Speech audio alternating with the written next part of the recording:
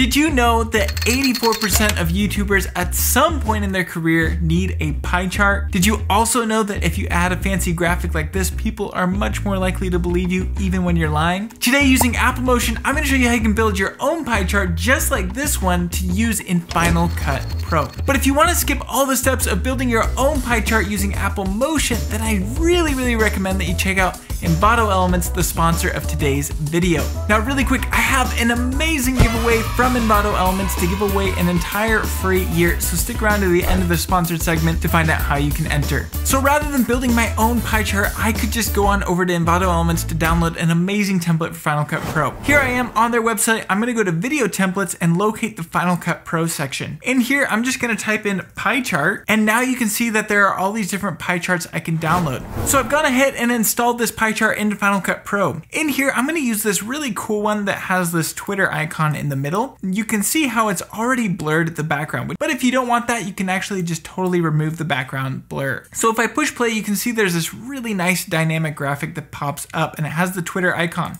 I could change that icon over to YouTube, then I could change the value. So let's go ahead and change this over to 84%. Then we could also change the color. So maybe I want it to be this orange color. And so now if we push play, it has all of those changes applied to this really nice graphic animation.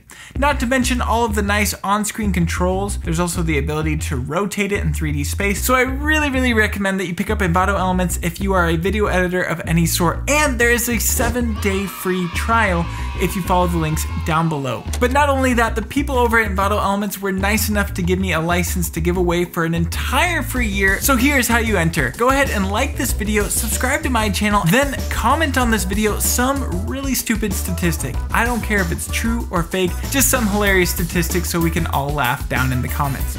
Once you've done that, you'll be entered and I'll be announcing the winner here in a couple weeks. Now, with all of that out of the way, let's go ahead and jump into the tutorial. First things first, go ahead and open up Apple Motion. If you don't get the project browser, you can push Command, Option, and N. From there, we're gonna select the Final Cut title. You can leave these settings at whatever you typically edit and we will push open. Now that we're in Motion, we can delete the title background and the type text here layer. From there, we can come down to where our shapes are and create a circle. I'm gonna click and drag and hold shift so that it is perfectly symmetrical. Then from there we can jump on over into the inspector where we can disable the fill and we can change the color of the outline. For now, I'll just set it to white so it's really easy to see. Then we can go on over into our properties and find the position settings. We'll click this down arrow and select reset parameter. So now it should be directly in the center. I'm just gonna call this circle one.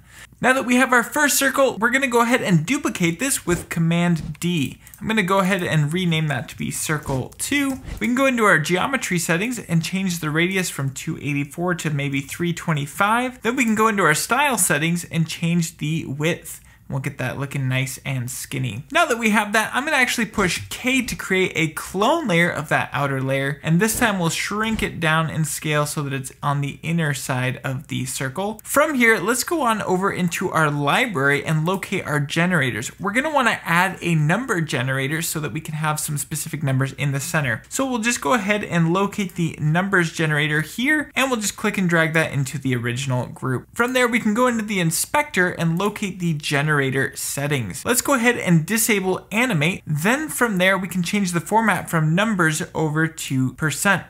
If you want decimals, you could actually click and drag this slider. So now if I scale up our text here and the format settings, you can see that it has a decimal percent amount.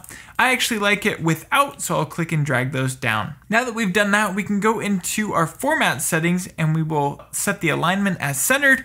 We'll go into the property settings, click this down arrow and reset the transform properties. Now we can just actually click and drag that down. And in our text generator settings, we can scale this up. So with the number selected, we can go into the generator settings and find the value parameter. We'll click this down arrow, add a parameter behavior, and we are going to link it to this original circle one. Now that we've added that link parameter, we just need to go into the compatible parameters, go to Object, Shape, Outline, and set the last point offset. So now you can see how that has jumped the number up to 100%. If we click on the circle 1, you can find the last point offset here at the bottom. So as I click and drag, you can see how that is adjusting accordingly. Now with the circle selected, if you like these rounded edges, you can leave them just as they are, but if you want to change the end caps, you can come here, find the start cap, change that to none, and change the end cap over to none. So now they'll just have hard edges. I actually like how it looks with the rounded edges, so we'll leave it as it is. Let's go ahead and select the circle 2 and we will find the last point offset. We'll click on the down arrow, add a parameter behavior, and we will link it. Then from there, we can link it to circle one. Now, Motion's gonna already know that we want to connect both the last point offset to each other. So as we adjust the last point offset here, all the numbers should be adjusting accordingly, as well as the animation of the outer line. Let's go ahead and scale down the numbers just a little bit. They're a little bit too large when it hits a full 100% just like that. So now that we've done that, we wanna make it so that as we change these values in Final Cut Pro, it has a nice little animation at the beginning. So with circle one selected, let's find the last point offset and set that to zero. Then we can click on this down arrow, add a parameter behavior, and we are going to select ramp. From here, we can set the end value. So whatever this value is, is where the animation will end. So let's say we want it to end at 84% because that is how many people need to create a pie chart at some point in their life. Now that we've done that, we need to go down to the end offset and we need to adjust the offset of this animation because if I push Command 8, we can see that the animation is playing out over the entire duration of our clip. So what I need to do is click and drag the end offset until it's about a second long. Now, unfortunately, we can only go up to the value of 100, but if you click and drag on that value, you can actually adjust it much further. So that will be right at one second. So if I play it out, we'll have this nice smooth animation of this circle being drawn in. So let's go ahead and add in a little animation for these numbers to pop in. Let's go to the property settings and find the scale value. We'll click this down arrow, add a parameter behavior and select overshoot. From there, let's set the start value to negative 100% and that will actually negate the full 100% value that it was set at. As it is, it's growing in very, very slowly. So again, we need to set that end offset value. So we'll go ahead, click and drag that end offset until the animation is as short as we want it and we want it to last about a second. So now the text is popping in just like so. Perfect, so now let's go ahead and publish these parameters so that they are over in Final Cut Pro. So going into the ramp value, this is gonna be important that we select the ramp and not the last point offset. We can find the end value here. Let's go ahead and click this down arrow and push publish. Then from there, let's go into our circle settings and we'll publish the outline color. So I can publish this brush color right here. We'll go to circle two and also publish that color. Then we can go into our numbers. We could publish stuff like the font and size if we wanted to. I'm gonna keep it pretty simple though. We'll go into the appearance settings and publish the face color. Then from there, we can go up to our project settings and you'll see that we have all of these different values, but it's hard to understand what they are going to affect. Let's go ahead and change the name of end value just to value. Then we'll go to our brush color settings and we can set this to circle one, double click on this for circle two, and double click on this for text color. Now, one last thing we need to do before we publish this over into Final Cut Pro is we need to find the end of this animation being right here. Then we'll push Shift M. That's gonna create this green marker. We'll double click on that and change it from type standard over to build in optional.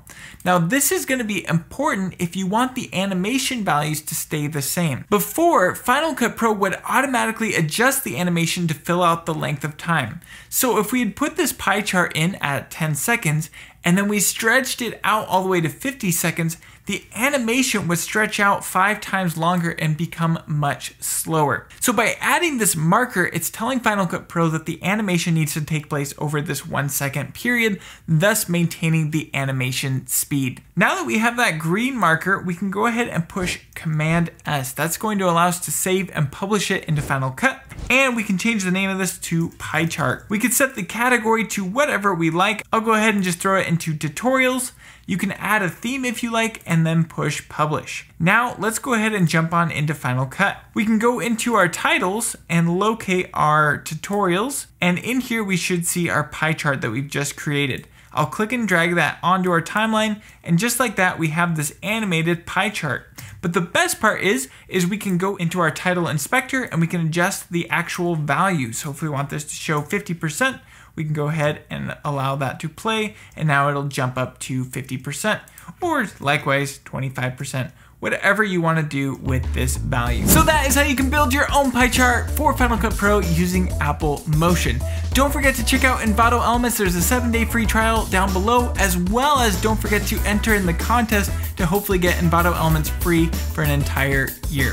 With that being said, thank you so much for watching and I cannot wait to see you in the next one.